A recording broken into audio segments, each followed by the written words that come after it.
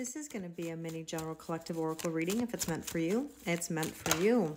Okay, the current energy today is bronze. Okay, it says strengthen your body.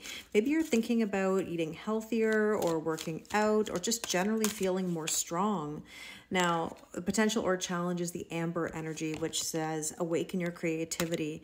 So, in order to strengthen yourself, spark new energy, it's about being creative, putting yourself out there, doing new things, new hobbies, new experiences. Sparking energy is key to moving forward. Now, what should you focus on today? We have here Jade. It's telling you to take action, not holding yourself back anymore. Now, your recent past, we have here Red, and it says free yourself from pain. Maybe you've just had enough had enough of the hurts. Now let's see, in the strength position today, we have apricot, rejoice and laugh. Watch something funny, do something that you really enjoy. And your near future, we have lavender, connect to mind, body, and soul. Maybe that's a nice salt bath or just in general doing something again that makes you feel really good. Now your suggested approach, we have here watermelon. Have fun with your inner child. Maybe have some watermelon.